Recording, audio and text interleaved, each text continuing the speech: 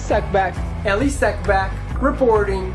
For ESNewsReporting.com, I'm Ellie Sekbak reporting. ESNewsReporting.com, I'm Ellie Sekbak reporting.